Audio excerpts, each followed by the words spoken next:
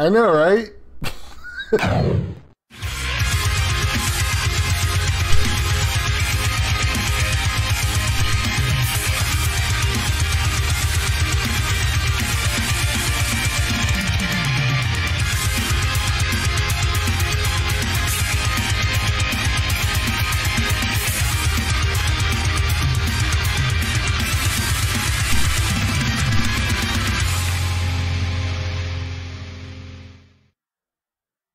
Hey everybody, my name is Old Skule Nerd. Check us out on oldskulenerd.com. It's got all of our social media posts, the Patreon link for those who want to support the channel. We appreciate every single one of you, and the merchandise store. Okay, it's Dagoba, but Dagoba is my first napalm reaction that I'm doing with my 3D napalm box. And for those who don't know where that thing came from, check out the video just before this one. Uh, my buddy Jason S. Uh, from Jason's Creations Unlimited in Oklahoma City, Oklahoma, custom fabricated my napalm box. So I don't have to put the little logo up there. I can just put that up there for napalm reactions. So my first one with the new box is Dagoba, their new song City Lights. Now, this new album is completely blowing people away because everyone is just when people think of Gojira, right? Just historically, we're always like this.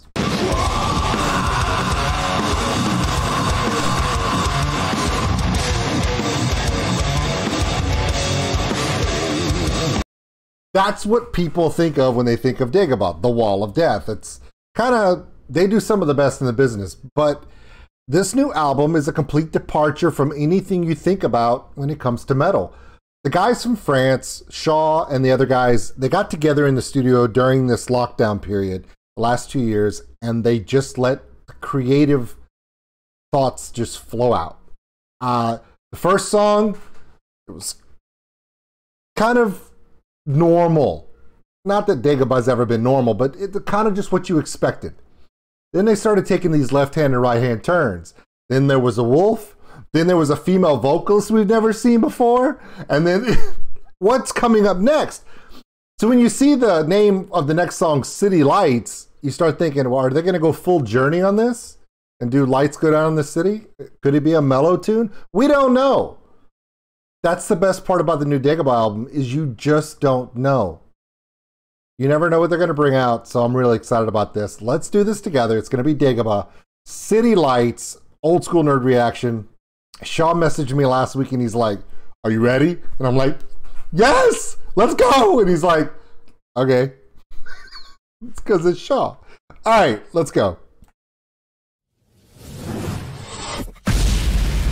Mine's better.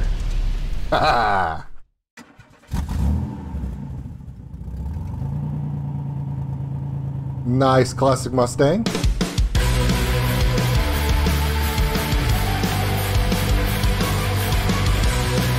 A lot more keys.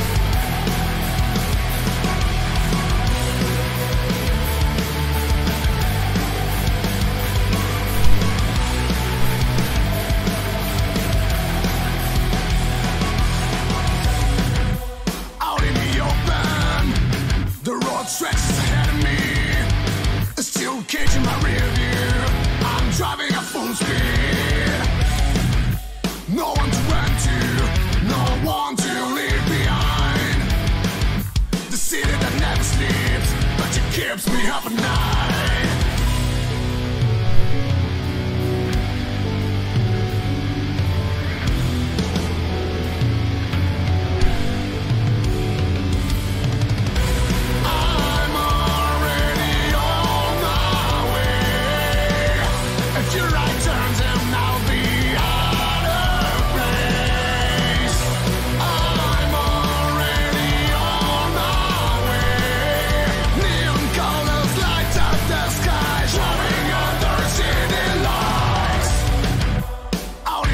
All right, uh, I'm, I'm, we're gonna first verse, first chorus are through. Don't worry, we're gonna come back and uh, I'm not gonna miss out any part of that second verse coming in.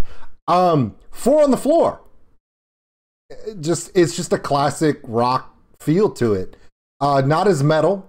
Um, it's got more of that arena rock feel to it, classic rock stuff too, um, which I get. Um, a lot of Americana re- uh, references. Uh, classic Mustang driving through city lights at night. It's a classic Americana feel. I don't know how uh, how that translates into Europe as much. Uh, I don't I don't think the classic road trip feel is as European as it is in the United States. The United States is just a it's it's Amer- we call it Americana. It's just that classic thing that you do. Um, I, I know that uh, Europe is not as expansive. You know, it's not as spread out as the U.S. is. So you don't really have uh, these long. I mean, they call them grand tours in Europe. Um, that's where the term GT comes from. So if he's driving a Ford Mustang GT, it makes sense. Um, it's just a classic metal feel, kind of a more hard rock feel. Now, if you're going to play a song like this, you're going to have to come to America and play it. I'm throwing the gauntlet down, guys. Get out here. Uh, just saying. Um, it, it's not your typical Dagoba song. As elaborate and as phased and constantly evolving as the last song was, I mean, even the intro of a female vocalist, this one seems very, like I said, four on the floor. One, two, three, four, one, two, three, four. It's just, just a standard rock count. However, the use of the synthesizers, the pads, to really bring in a lot of emotion into it, that hype feel. I don't want to say or claim it's going to be a certain way because Dagoba has a tendency to shift gears, especially on this new album out of nowhere. So we're going to start at the second verse. Let's see what they do.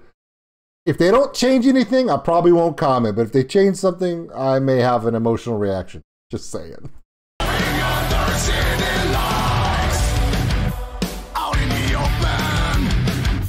Stretches ahead of me, still caging my rear view.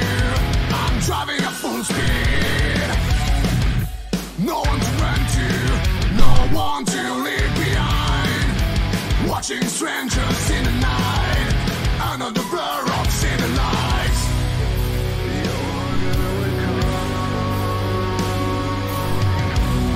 There's that moon again. Where's my wolf?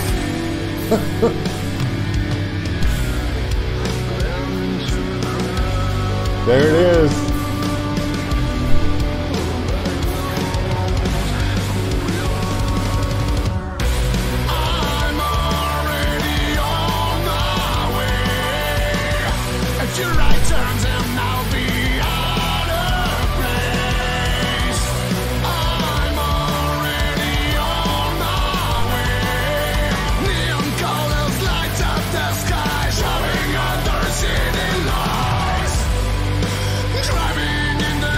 Breakdown.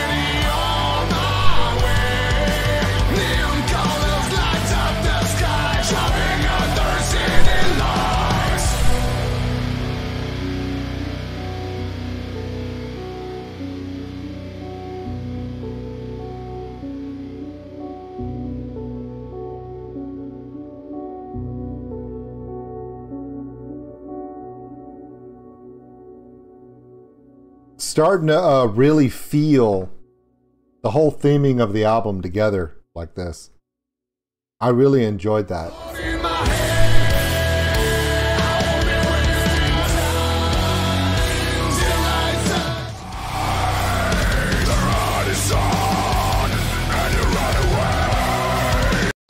As chaotic as the first two songs of this album have been, this one was not. And I'm not hating that, okay? The first song was this intensity with a little bit of electronic in it, but it had this very heavy feel to it.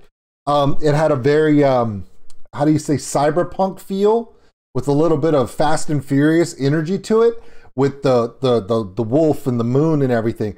The second release with the unknown un uh, not the unknown but the uncredited female vocalist was very intimate.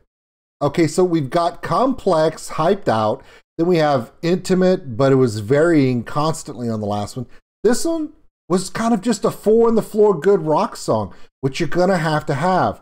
Um, I, I will say that I almost expected this one to have a little bit more um, dynamic in it. And then as I got to the end of it, I'm like, you know what? That's not what the song needed. I like it the way it is. It's just straight, straight four on the floor, hard rock stuff. And you're going to need that because after talking to Shaw in our interview, he talked about how much emotion, how much thought process and storytelling went into this album. Sometimes different stories are told throughout an album. This story is just about getting on the getting on the road and just tearing down the highway and that's not complex that's as basic as it gets so in, a in a live show context i could see all these different songs and going you know uh, dynamic and changing it up and switching it up. But if you don't have a song that everyone in the crowd can just put their arms up and go through the whole time it will be a it's one thing that I can say, and I, I want to use another Rush reference because um, Rush did this a lot, and it was something that I loved because um, I've seen Rush so many times, and Rush did this thing where you could go to Rush concerts and they would have their new album and it would be conceptual and it'd be dynamic and it would be all elaborate and complex because that's what Rush was. But no matter what the song, no matter what the concert you went to, there was always three songs. You know, whether you be, you know, working man, Tom Sawyer, right? You always had the ones that everyone it they weren't complex. They were just straightforward. And you needed that to re-anchor to the group. So I like this song. This is also a good song for the road. It's a good travel song. It's not as elaborate and it appeals to people. I think one of the things that Dagoba's doing is they're telling these stories in this album in different forms, different formats. The first song appealed to the complexity of musicianship in me. The second song appealed to Chelsea and my girls because there was this dynamic with a female vocalist and it just connected in an emotional sense, and my kids love that one. This one just reminds me of my dad, reminds me of my cousins, you know, getting on the road, long road trips, and just that that 80s and 90s rock feel. Okay, so Dagoba isn't just telling one story on this album, they're telling you a bunch of different short stories for everybody. And I kind of dig it. All right. Thank you very much, guys. That was Shaw and the guys from Dagoba from Napalm Records. Um, another great one. This one was called City Lights. And we will see you on the next one. Peace.